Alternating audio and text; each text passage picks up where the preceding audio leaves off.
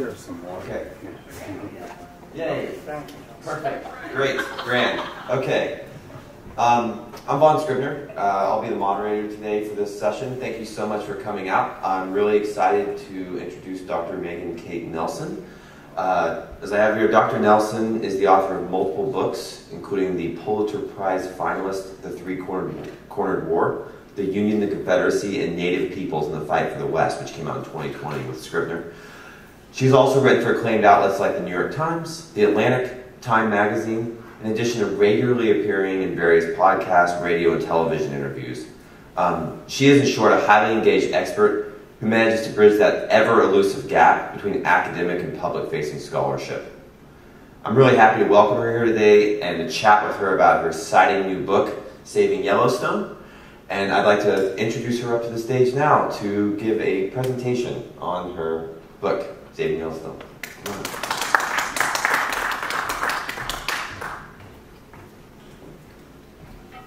Thanks so much for that, Vaughn, and thank you so much for being here um, and for the invitation to be a, to be a part of this amazing book festival. Um, I am here to talk about Saving Yellowstone, which is my fourth book, um, and the idea for this book really started. Uh, as I was writing my previous book, but really it has a, a longer sort of origin story than that. Um, you know, in 1982, I went with my family on our first driving vacation uh, through uh, all different parts of the West and then into Canada, and our first stop was Yellowstone.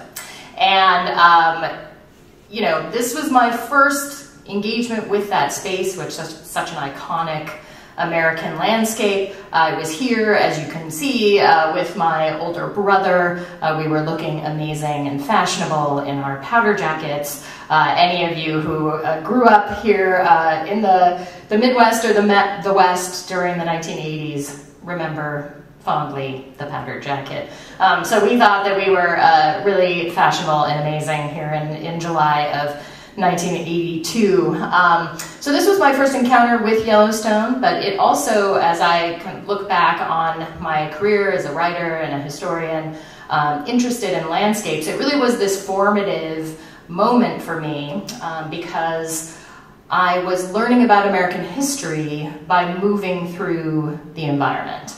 Um, you know, this was a time obviously before uh, staring at screens on the back of car seats, so I had nothing to do but look out the window.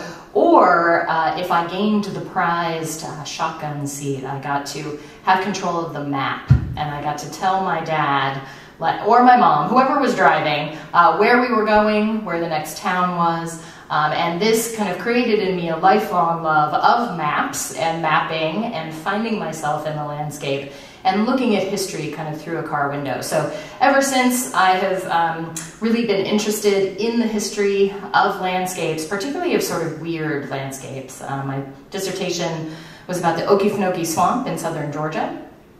And my second book was about ruins during the Civil War.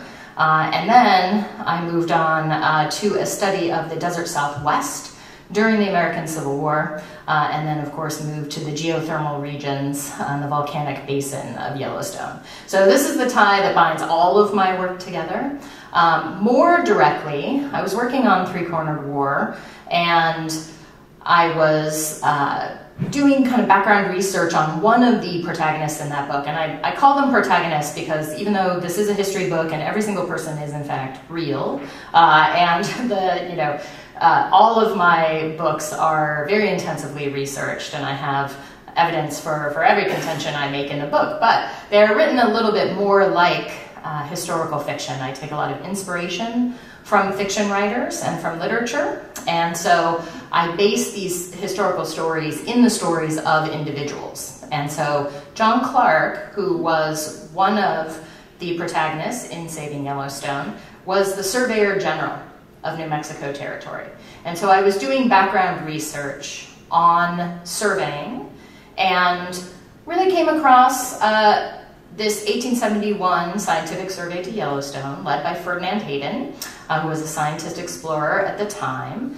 Uh, and I had actually already studied this expedition before in graduate school um, in art history. And you'll see why here, here in a second, uh, why I would have studied that in that particular class. Um, but I realized, and this was about 2018, I realized that um, the 150th anniversary of the scientific expedition was coming up in 2021, um, and so was the 150th anniversary of the Yellowstone Act, which was a direct result of the expedition. Um, came six months later.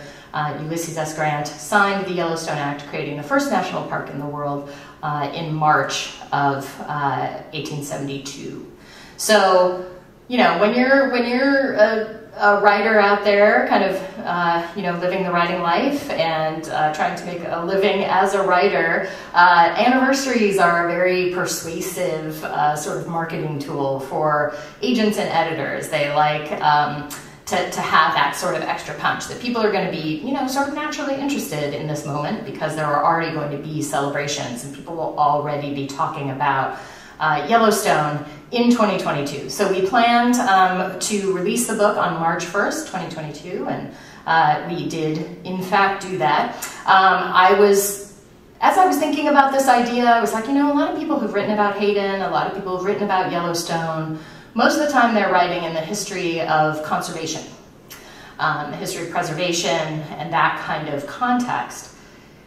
And I really started thinking about, you know, two major questions. One was, why save Yellowstone? Um, there were other places that had already been kind of taken out of private use and development and preserved for the benefit of the people. Um, first, in 1832, right here in Arkansas, uh, Hot Springs was a reservation already at that point. Um, also, Yosemite had been made a state park uh, in 1864. There was Niagara Falls, People were already uh, exploring Grand Canyon. So why Yellowstone? Why this place that was actually unsettling to a lot of people? Um, why would that be the place that US Congress would choose uh, to create the first national park? And then why in 1871-72?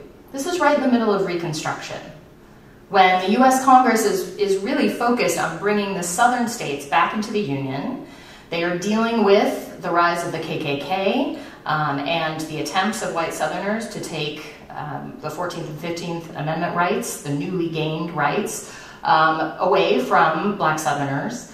So they have a lot to deal with in the South. So why are they doing this? Why are they giving Ferdinand Hayden $40,000 to explore Yellowstone, which in today's money would be about a million dollars? Why are they funding that expedition? And why are they then passing this kind of landmark legislation? Uh, these were my driving questions uh, going into the project. Um, and I, as I was researching, I decided that there were kind of three main figures who became really interesting and really uh, important in bringing Yellowstone into the national conversation uh, and bringing about the Yellowstone Act. The first of these uh, was Ferdinand Hayden, um, a scientist and explorer. Uh, Hayden was a pretty interesting guy. He was born in Massachusetts, the child of divorce. Um, he grew up in great poverty, so he was not one of these kind of gentleman scientists in the, in the Thomas Jefferson mode. He was pretty hard scrabble. He was very ambitious and kind of obnoxious. Uh, and this made him appeal to me, of course, because I like to uh, write about people who are kind of messy, right? Um, because we're all a little messy, right? Uh, so I. I found him really fascinating. He, he built his own career. He started out as a fossil hunter, which meant that he would go and collect fossils on these trips. He loved being in the field and being outside. And then he would sell these specimens to other scientists. Uh, but he decided that he couldn't make enough money in that endeavor. Uh, and so he uh, decided that he wanted to be um, a government surveyor. And this was a tradition that started with Lewis and Clark in 1804, uh, with the government sending out usually military men, but increasingly civilian scientists to lead these expeditions into places uh, across the United States where they would map it, record climate details, um, flora and fauna, and really figure out what America could do with this land. Could they farm it? Could they ranch it? Could they mine it? What could they do with it? Um, so Hayden built this career for himself, and by 1867, he was the head of his own survey. And what that meant is that every year he would go to Congress in kind of January, February. He would lobby them for money to take a trip. Uh, then he would get that money, usually, organize his survey, set out into um, usually the West to do the survey between about May and September. Then he'd come back, he would write a report for the government, because whenever the government gives you money or something like this, you have to write a report of your findings. And these were reports hundreds of pages long. And he wrote them in about two months. And then submitted them to the US government, and then started lobbying again for the next season. So he was hustling the entire time, and he was in competition uh, with several other uh, explorers in the field, including John Wesley Powell and Clarence King, um, both of whom he hated uh, with a passion.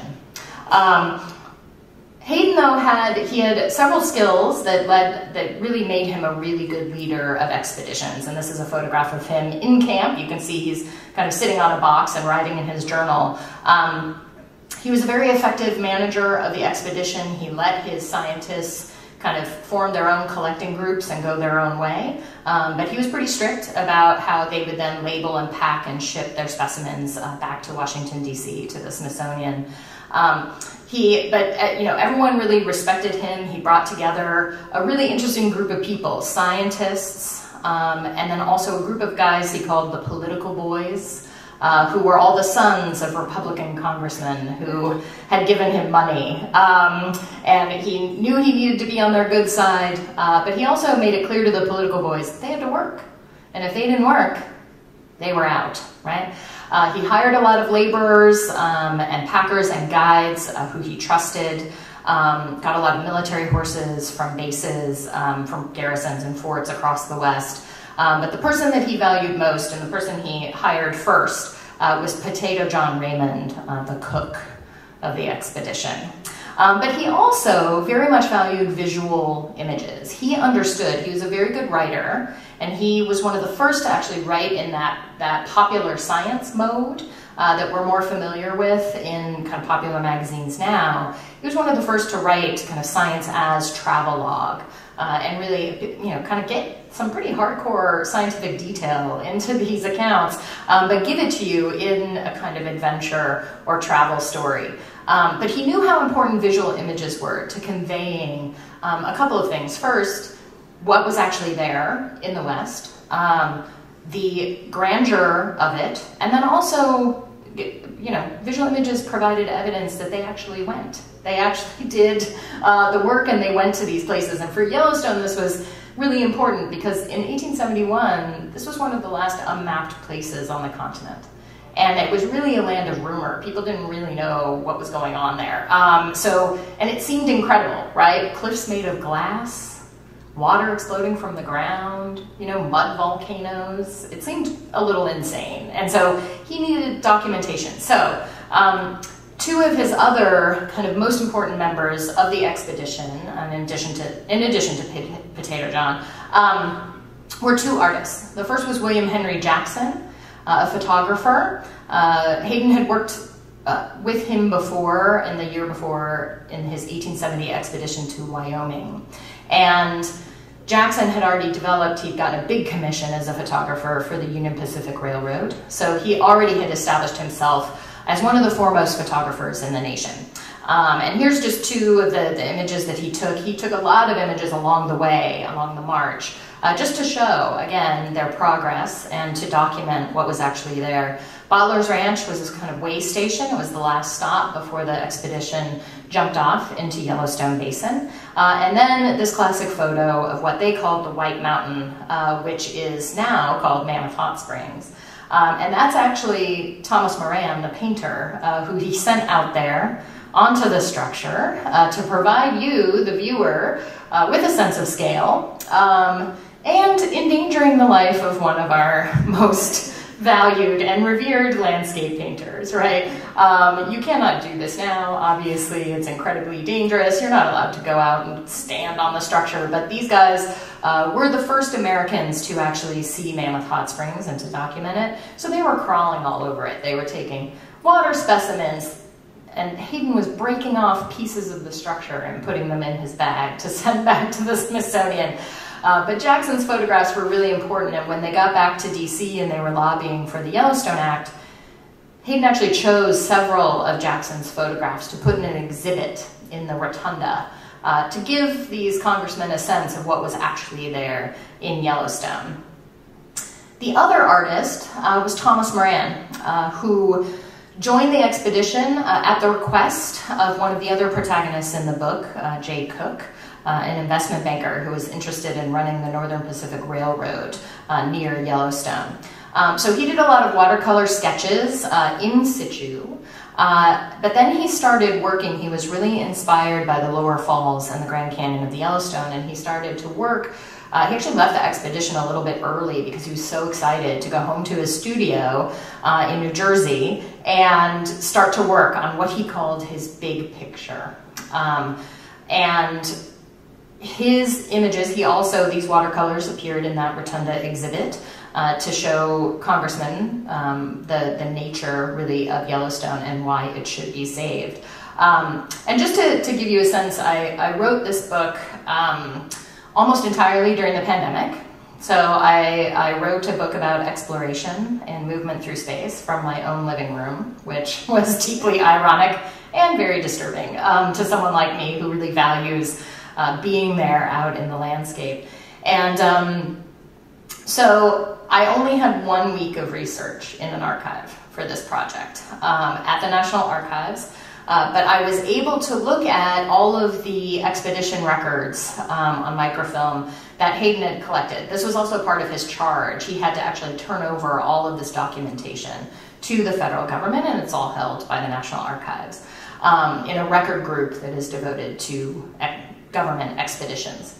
So this is a this is a letter that Thomas Moran wrote to Hayden um, in March of 1872. So this is after the Yellowstone Act was passed, and he's working on his big picture. And what I love about looking at documents themselves instead of just transcriptions is that you find little details in them that are just really charming. So in this letter, he's asking Hayden to send him a photograph of himself um, because he wants to include Hayden in the big picture. Um, and, and this was co quite common to include expedition members in these visual images. And so if you can see kind of halfway down in the letter on the right side, uh, Moran is saying, uh, I, you know, I want you to send me this photograph of, of you, like, you know, portrait of you, um, and it should be about this size. And so he sketches Hayden. So this is Hayden in his hat, his beard. He's got kind of one hat and his jacket. Um, and I just thought that was this really lovely kind of moment with these, you know, two men writing to each other and this artist kind of asking for help from Hayden. He also wanted him to see the big picture because he wanted to make sure he had most of the geological detail correct. Um, because the, he wanted the painting to be effective aesthetically, but he also wanted it to be in part true. Um, so this is the big picture. Uh, in real life, it's not quite this big, but it is uh, 8 feet by 12 feet, which is large. Um, and it has a ton of detail in it. Um, and most critics really, really loved uh, this image when it was shown in New York in May of 1872. They thought the color was amazing. Uh, and if you've been to Yellowstone and you've seen the Grand Canyon of the Yellowstone, you know this is, it is yellow like this. It's got that kind of uh, yellow and kind of dark red cast to it because of the volcanic nature of the rocks in this region. Um, and I, I, took out a detail here so you could see Hayden did end up in the painting. He's there in the foreground on a prospect, uh, pointing out into the distance at the lower falls of the Yellowstone. Um, but he's not facing us, right? So this portrait, the, the photograph that Hayden uh, presumably sent him, uh, was not useful at all. Um, so he painted him from the back, and he also included uh, a native guide in this image. Uh, and there was no native guide on the Hayden expedition. This is a completely made up figure. Uh, this is part of the whole context of American landscape art. A lot of landscape images had uh, just a single native person in the foreground, uh, meant to represent uh, what was known as, uh, quote unquote, the vanishing Indian. Um, so this was meant to be a person who was, uh, had, he had a relationship with Hayden, he was welcoming him to Yellowstone, and basically offering it up uh, to Hayden and to Americans and to white settlers. Um, this, of course, was not the case uh, as I show in the book. Um, so the, the second protagonist in the book is Jay Cooke, uh, who did fund uh, Thomas Moran's trip and bought uh, several, well, actually, in exchange for that, took several of those watercolors and they were in his possession uh, until 1873. Now, Jay Cooke uh, was pretty famous in America at this point. He had made all of his money during the Civil War selling U.S. war bonds because um, you know it costs money to fight a war, and so he took control. He was he had an investment bank. He had, from a very young age, been very good at math. Started working as a clerk in a bank when he was just 14. Uh, had an intuitive sense of business and had this investment bank uh, through which he raised money for the U.S. government by selling bonds uh, to Northerners. He took a commission on those bonds, of course. So, in addition to feeling quite patriotic and feeling like he was supporting the Union cause, he also made millions of dollars. Um, so, a win win, right, in his view. Uh, and so, Cooke. Uh, he uh, was looking for another similar type of project uh, during Reconstruction in the years after the war, and he hit upon the Northern Pacific.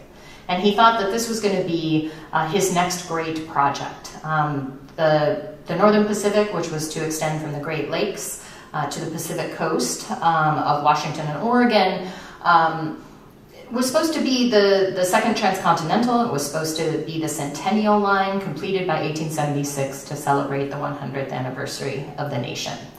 Uh, Cooke uh, started to raise money for the railroad. It was a terrible, terrible decision that none of his friends could believe that he had made. Uh, railroads are terrible investments. Uh, they were so in the 19th century, uh, and because you have to in order to make money off of it, you have to be able to sell the land that the track is going through. But in order to get the land from the federal government to sell, you have to build track. So how do you build the track? Where do you get the money to build the track? Uh, well, Cooke started to loan the railroad money because he couldn't raise enough money through bond sales. He started to loan uh, the money from his own investment bank. So his own investors were paying for the Northern Pacific. Uh, and ultimately, that was an unsustainable situation, uh, and Jay Cooke and Company folded in September of 1873, which drove the whole country into a panic and depression. Um, he was interested in Yellowstone because he thought that he could uh, bring tourists to Yellowstone because the track was going to run about 50 miles north of the basin um, in, through what is now the town of Livingston, if you have been out there. Um, so this was his interest. He also was quite interested uh, and lobbied for the creation of the national park. Um, but one of the reasons this did not go well, uh, not only were railroads not a good investment, but there was another man standing in his way, and that was Tatanka Iyotake, uh, the Hunkpapa Lakota chief, whose lands extended from the Missouri River to the Yellowstone Basin. And he was really defending uh, this area from all white incursions during this period, including Cooke's Railroad. And in three separate engagements, he actually successfully pushed the railroad surveyors and their U.S. Army protectors out of Lakota country. So he is the third protagonist of the book. Uh, he has an interest in keeping uh, the Yellowstone Basin and the Yellowstone River Valley for his people uh, and other indigenous polities. Uh, because of course the Lakota were not the only ones uh, who were active in this uh, region and who used uh, Yellowstone as a thoroughfare or a ceremonial site um, or a place, you know, to hunt bison and elk. Uh, these are just some of the indigenous nations that have a historic tie to Yellowstone. There are actually 27 tribal nations that the National Park Service recognizes as having a tie to Yellowstone and is trying to integrate into uh, the history of the park. Uh, they just really started recently on that project, which is, is quite interesting and I think a much needed um, addition to the history and the experience of the park, um, you know, at this kind of late date. But uh, there are active uh, groups that are coming in and inserting the indigenous history of Yellowstone into that tourist experience now.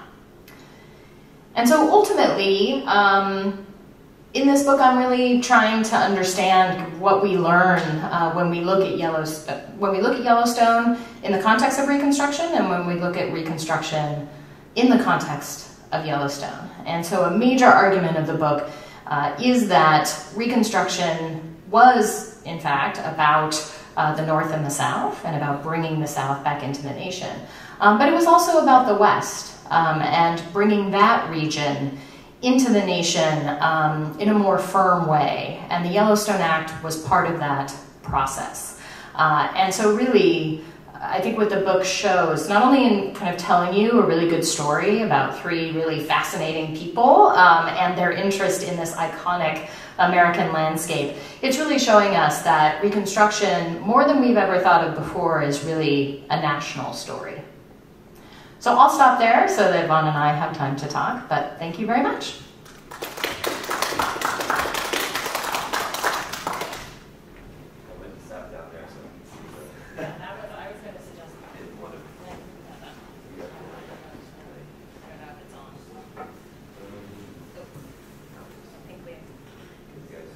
I think we are on now. Hello? Yes. Oh, yeah. Yeah. good. All right. There we go. That's Um, Megan, I have absolutely adored this book, and one of my biggest questions for you is you mentioned your, in your acknowledgments that you were excited to get back to Yellowstone.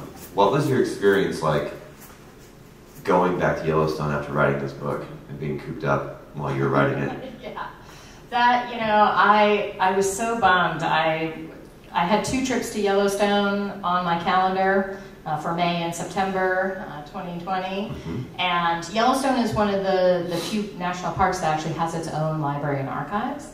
Um, and so I was excited to get in there, and they actually have some of those Moran watercolors. I was going to see them in person, and I didn't get to go uh, at all. And so I went in September 2021. The book was already in production, it was in copy edits. So, um, yeah. yeah, um, and luckily for me, it was not yet in page proofs because um, when I actually went back, you know, it had been 40 years, Yeah, almost 40 years exactly since I had been to the park, and of course I had seen all the photographs and I had used all the photographs to help me, and maps, current maps, and also the, the Hayden Expedition maps to sort of orient myself. I'd like to put you as readers kind of down on the ground next to these people, and so knowing what the landscape is like is, is really important for me as a historian. Um, it was fascinating though because I I realized when I went there that I had some details wrong, and and I think when you're when you haven't been there in a while and you don't have a full sense, like an you know either drone footage from above or any kind of video, it's hard to uh, really imagine that Yellowstone, first of all, is very high in elevation. It's up over 8,000 feet. Um, and to get into it, in most entrances, you're going up and over a big pass. Um, and there are mountains everywhere. And I think we think Yellowstone Basin, and you think of it as a volcanic sort of depression, like it's a big bowl, and it is not. And to get to, it has, the park has kind of four quadrants, and to get to any of them from the other, you have to actually go up over about 9,000 to 10,000 feet. Um, so a lot of the roads close uh, during inclement weather, um, and when we were there in September, it snowed on us. Um, and then when we were there in May again of this year, it snowed on us. Um, so there were there were things that I just didn't. The, the description from the, the historical sources was not enough for me to really know. So that was, I mean, it's a little bit of a shock, right? Because as historians, I mean, you know you're not going to get everything right. But, but when you realize you got something really wrong, you're like, oh, no, no, like this isn't good, right? Um, but I did have time to change. So that was really, really good. But I will say that instead of kind of looking at a map um, in the shotgun seat, like my husband was driving when we were on this trip, and I was drawing a map for myself so that I could then look back at my manuscript and like figure out where things were. Um, and just as one little detail, I had not realized just from reading about it, Mammoth Hot Springs is a major point for Hayden because this is, uh, to him, his most important finding because um, previous expeditions had not been there, it had not yet been fully described um, for Americans, and so he saw this as his real, the place where he was really making his mark. And when he describes going up there, they turn away from the Gardner River, and he just says they rode uphill. And I didn't realize that hill's like a thousand feet high, right? So this is the Gardner Road. If you've been in the northern entrance, you kind of wind along the Gardner River, and then you just start doing these switchbacks at the side, and you don't see Mammoth until you come over the top. So it's really actually quite easy to miss. So being there really helped me understand why people had missed it before if they were just following the river. Um, but also that experience, like their horses were really gasping for breath by the time they got up to that plateau uh, where Mammoth is now. Um, yeah. And didn't they have didn't they have a hundred horses? Something like that? They they had a lot of horses. Okay, they had about 50 horses. 50, okay. Because yeah. they, they, there were about 50 of them. Okay. Uh, so they were riding horses, and then they also had uh, horses and mules that were um, they had no wagons because at that point there were only pathways into the park, and so they weren't wide enough for wagons. But they had their all of their supplies strapped to other horses. Yes. Uh, yes. So they, they they were riding some, and then they had the others that were pack animals, uh, and they had to pack them up basically every day and pack specimens onto their backs that they were then going to mail back uh, to the Smithsonian. So they had a lot of extra horses. Once they got into the park, there was no, I mean, they had to deal with what they had. Yes. Um, because there was no one like, that was going to supply them. Um, and it, it, was not the park then, of course, once they got into Yellowstone Basin. Um, but yeah, they had a lot of animals with them.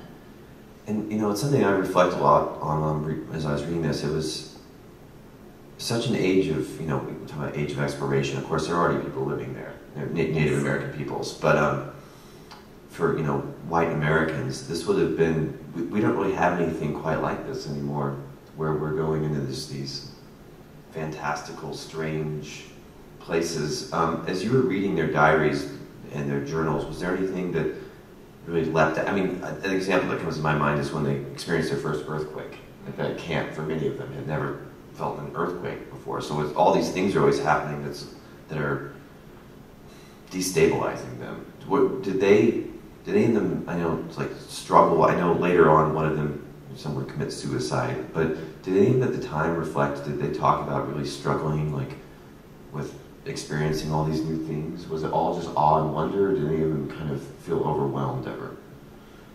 I think some of them did feel a little overwhelmed at certain points, and and one of one of the cavalry uh, escorts because they had a they had a couple soldiers from Fort Ellis who they picked up as, as protective detail.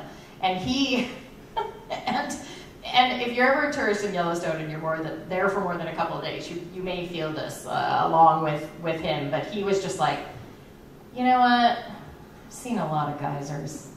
Like I'm kind of, and he, and he didn't say like I'm over it, but that was that was kind of the the thing. He was kind of like, oh god, more? Like they're really? Oh, okay you know, because he was, uh, you know, of course, all the scientists are busy collecting specimens and they're very interested, particularly in the geothermal field, because that's really the part of the park. Even though, you know, the, um, the waterfalls are amazing and Yellowstone Lake is amazing, but you have waterfalls and mountain ranges and lakes in other parts of the country, right? They're, they're not as spectacular. The geothermal field, though, like Hayden knew almost immediately, once he saw the upper and the lower geyser basin, that this was not only the largest probably in the world, which it is, um, but also unique in all the world, which it is.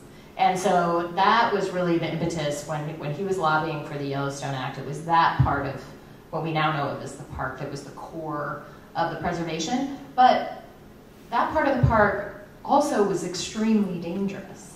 I mean, you saw Moran like out there clambering on the on Mammoth Hot Springs. If he had fallen in, he would have been basically burned to death and dissolved. Um, and and people die every year at Yellowstone now, falling because they go off the paths and they fall. They break through the crust and they fall into into springs, and it's really gruesome. Um, and so there was that sort of sense of danger. Mm-hmm. Like when they put their ear to the ground, they could hear the water boiling underneath, right? And their horses' hooves were like echoing. They could hear that there was nothing underneath their feet, and that really freaked them out. Um, and in the book, I kind of use this not only as a as a sign that you know this is a unique space and kind of a terrifying space, as all sublime landscapes are kind of terrifying, um, but also that it became a metaphor for the nation, right? That you have this kind of surface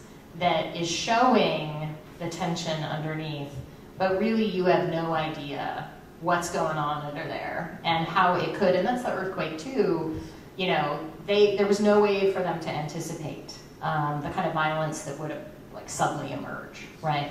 Um, and for me, I was writing that portion of the book like in January 2021, like as the as the insurrection was going on and the aftermath of that.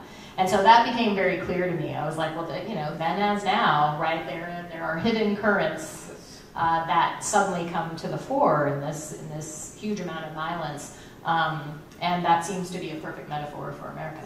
Yeah, that's. I had a note in here that, that you end your book with the Yellowstone, like America, is both fragile and powerful, and what lies beneath the surface of this nation is always threatening to explode. So I think that was yeah, uh, and I think that's also interesting in that you know you're writing this book cooped up at home like we all were. And what did it kind of provide you an escape in some ways? It did. Yeah. It did actually. I was able to immerse myself in Yellowstone in that part of the book. The kind of first part of the book is about a lot of it is about the expedition and about the Hunkpapa Lakota and their kind of um, you know positioning themselves within their homeland um, at this moment. Also, the second half of the book is more DC um, and the fight over the Yellowstone Act because it was not unanimous. You know, we tend to think of yeah, yeah, we tend to think of national parks now as oh, well, of course they're amazing. Why wouldn't anyone want this? Um, but you know, 89% of Republicans voted for the Yellowstone Act, and you know, as, as I think most people know, now the, the parties were flipped in this period um, in terms of their ideologies and their platforms um, than what we know today. And so 89% of Republicans voted for the Yellowstone Act, 70% of Democrats voted against it. So it was not unanimous. Um, and, and they basically were fighting over federal overreach and the, the idea that you know, taking these lands out of production violated white settler rights. You know, and that right to take up land wherever you wanted to and develop it how you wanted to was the core of Manifest Destiny, was the core of the American dream. And so even some moderate Democrats were a little worried about that and voted against the Yellowstone Act um, because of that. So, and these, these objections are still with us today. Yeah, I was going to mention that too because there's so much federal and, you know, protected land out west and it's still causing people still get upset about it. Um, I was also interested to see that some people, when they're debating it, did indeed bring up the rights of Native American peoples too, which was very, I mean, they were, of course, the, but that kind of transitions. I really loved your parts about Sitting Bull, um, and I was really impressed with how you, you use Native American terms for so many things that we just take for granted. Like, oh, well, no, they have their own. How did, how are you able to do that with accuracy? And I saw in your acknowledgments that you mentioned some people helped you with that. Any book, of course, is a, not just a lone endeavor, but how, how did you go about doing that? Yeah, that's a great question. Um, so I am not native, and so whenever um, a non-native scholar is doing native history, I think the, the most important thing to do is to be respectful of native sources.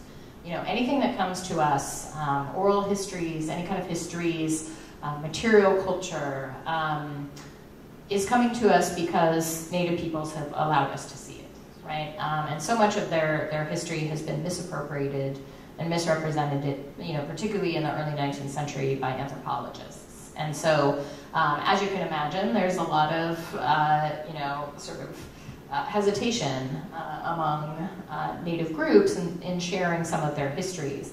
And so, in the book, I was always um, very careful to privilege native sources that had, had come to us that had been published. Um, and uh, the Lakota peoples have actually built a website with all of their vocabulary. So it's a dictionary that you can use and you plug in certain terms. And sometimes, you know, if you don't really understand the way the language works, you know, like I'm, I'm not a linguist, so I, I in some ways my construction of, of particular terms using that dictionary uh, was, uh, you know, was a little clunky. And so I, um, I asked a colleague who's a professor at Rutgers, Jameson Sweet, who is Lakota to Dakota. Um, I hired him to read the manuscript fully and to give me some help on the language. Um, and so he did, and it was wonderful because he, he really, really helped me uh, to figure out uh, what names would have been and why. And um, I, I wanted, again, because I want readers to really have a sense of the lived experience on the ground.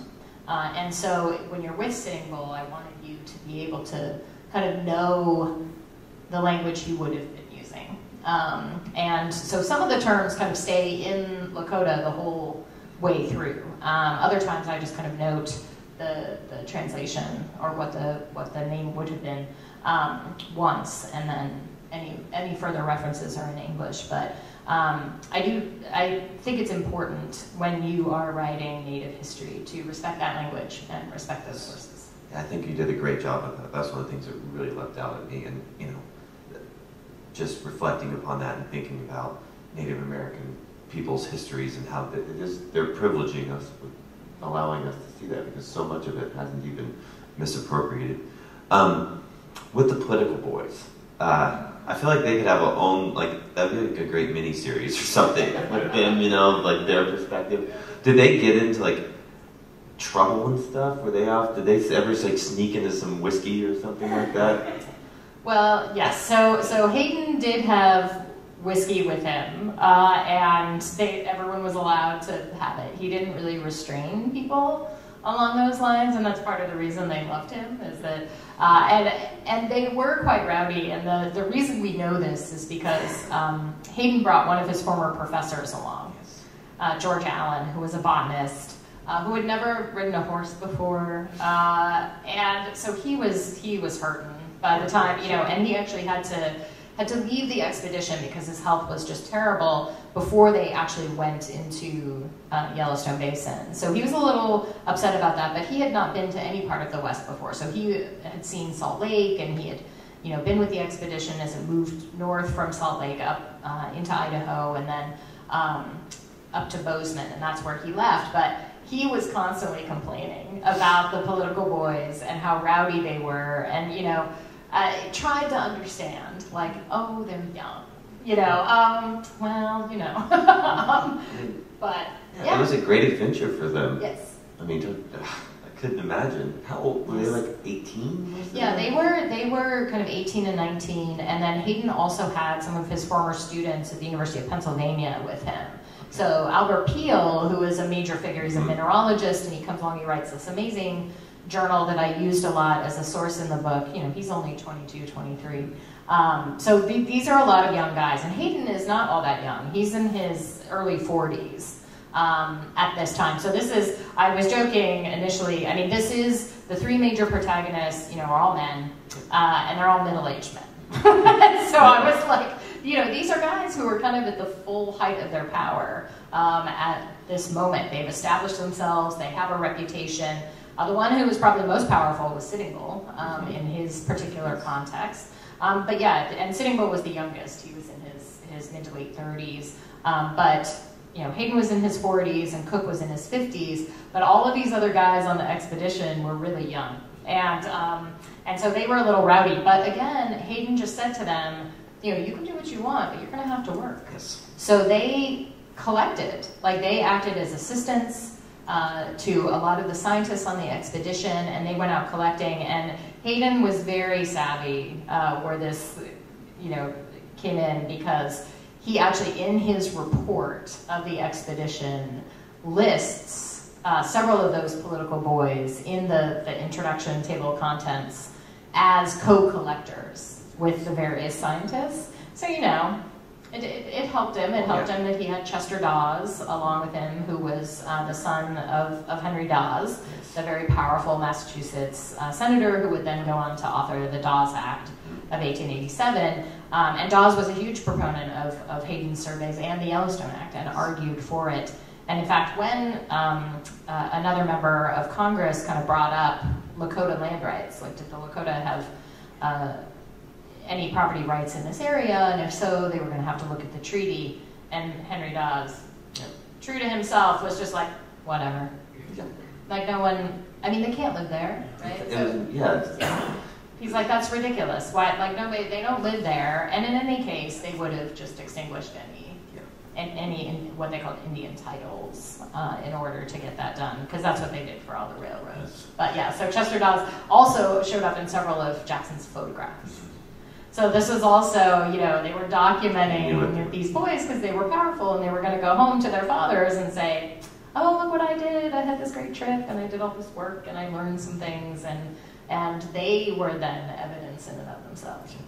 Yeah, and this book's such a poignant reminder of something I, you know, something we see as such a positive, you know, national parks, state parks. They, they were native land. We, we're all living on native lands at all times, and you know, this is something that is gaining steam right now a lot in our fields of like recognizing these are native lands, people were here before us, um, and you know something that that we see uh, often from an American perspective is this blank positive for Native peoples. I mean, Sitting Bull's spending the entire his entire book, he's trying to learn how to ward off these invaders. I really love the scene that you paint when he sits down during that battle when they're his, his some of his younger warriors are challenging him, and he just sits there and smokes a pipe, and they're all like, "Oh my god!" Like he, that, what was it like when you first read about that passage? Was that I mean?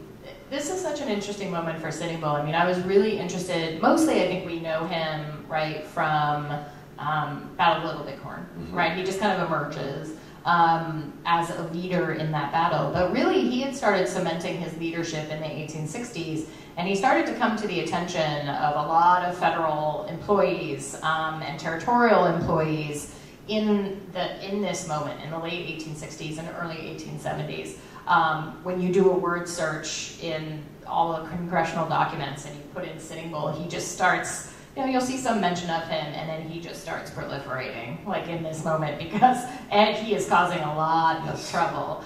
Um, yeah, and he in in all of these battles, um, you know, he again is in his late 30s. He's established himself, but he's also getting some pushback mm-hmm. from some of the the younger men who are trying to really establish their reputation as war leaders. Uh, and he doesn't, you know, the all indigenous peoples, and, and the Lakota in particular, are pretty conservative in their warfare style. Mm-hmm. They're never going to attack a force that is larger than theirs, um, where they do not have the high ground.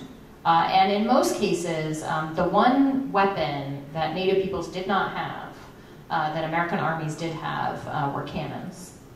And so whenever they saw a cannon being dragged along behind a group, usually uh, they would act, they would not initiate a full-on assault um, because they knew that the, the cannon was going to decimate them. And so, um, so they were very smart about it. But in this in this particular battle um, at Arrow Creek, you know, the, the Lakota had just kind of run into these surveyors. They didn't know they were out there. Um, they were on a different path. They were going to go and make war on the Crow people, who were their traditional enemies. Um, but they ran into them, and, and they were trying to decide what to do when the young men just sort of went off and attacked them on their own. And so, you know, Sitting Bull was like, oh, great. So then, then he had to kind of get into the battle. Uh, and he saw, kind of after a day of, of fighting, that they weren't going to win. And so he ordered a retreat. And the young men who were kind of under the influence of this other um, uh, elder named Long Holy, um, you know, they refused to go. And Long Holy actually said to Sitting Bull, like, well, why do you want to retreat? It seems like maybe you're not brave. You aren't as brave as you were. And so Sitting Bull just gets off his horse, and they were up on a, on a kind of bluff, and the, the soldiers were down over here.